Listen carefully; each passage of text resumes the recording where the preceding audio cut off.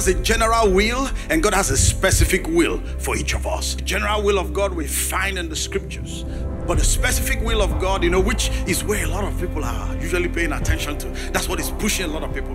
Where do I invest? What do I buy? What do I sell? Where do, who do I marry? Where do I live? God made it in such a way that you won't be able to access His specific will if you ignore His general will. Your role is to find out my general will, my word, my intentions, my desire, my purposes, and then leave the other one specific for me to direct you. When you don't have time for His word, to know His word, and to obey His word, what you're saying is that you are accepting not to have clear direction in specific areas of your life. Open doors are opportunities.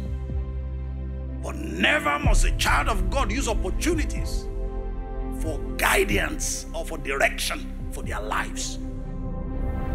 Knowing the will of God, understanding the will of God, and walking in the will of God, obeying the will of God gives you confidence that you have never experienced before.